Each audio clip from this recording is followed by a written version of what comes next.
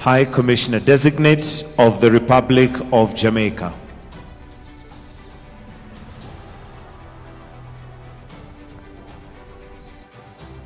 Your Excellency, the President of the Republic, I have the honor to present to you Mrs. Joan Thomas Edwards, High Commissioner Designate of the Republic of Jamaica with residence in Pretoria, the Republic of South Africa.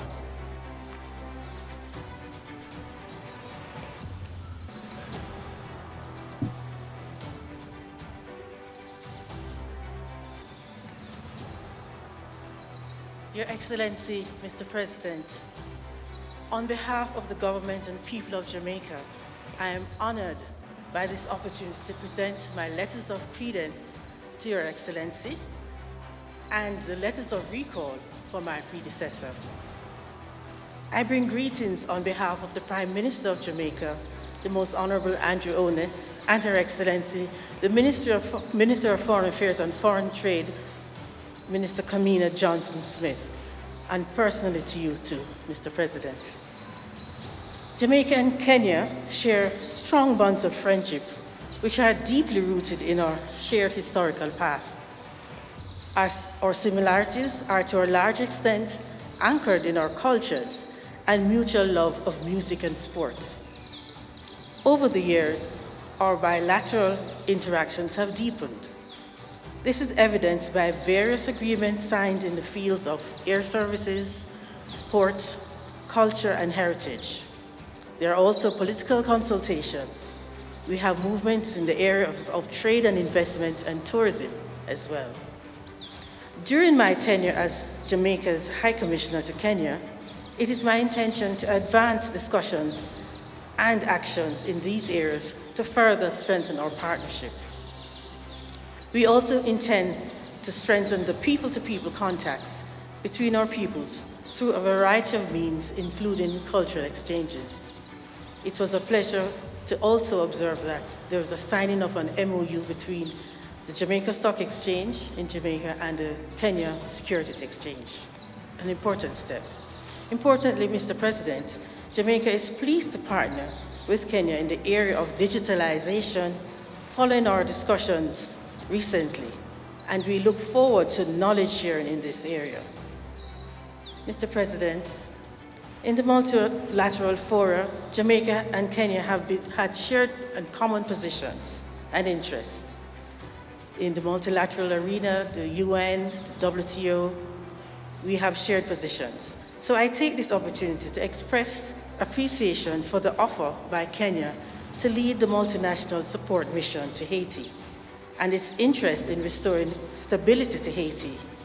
And we reaffirm, reaffirm Jamaica's commitment to supporting this critical mission. Additionally, Jamaica and CARICOM look forward to the conclusion of the pending Memorandum of Understanding, MOU, between CARICOM and the African Union to establish a consultation cooperation mechanism between CARICOM member states and Kenya. Jamaica and Kenya, and the region rather, look forward to strengthening our commitment as the sixth region of Africa to strengthen the bonds of friendship and cooperation between our regions. Again, Mr. President, I reaffirm the commitment of Jamaica in strengthening our bonds of friendship. I thank you.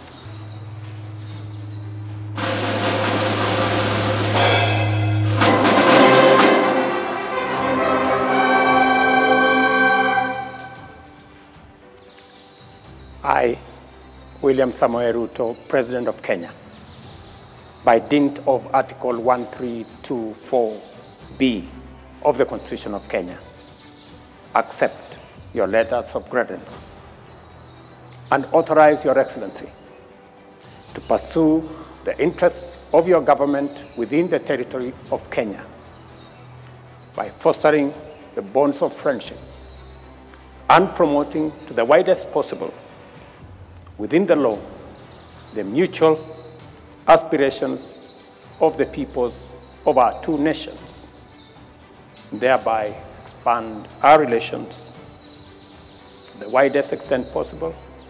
I also welcome the support of your government in the leadership of Kenya on the mission to Haiti to restore stability in that country. And also welcome CARICOM's participation as the sixth region of the Africa Union. Madam Ambassador, congratulations on your appointment and welcome to Kenya.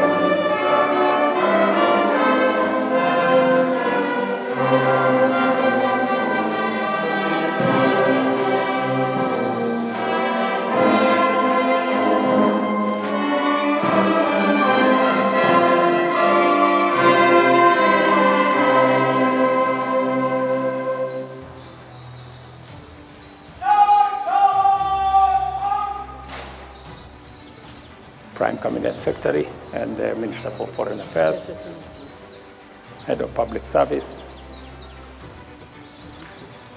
Deputy Chief of Staff in my office, Principal Secretary for Foreign Affairs, Commander of our Kenya Air Force,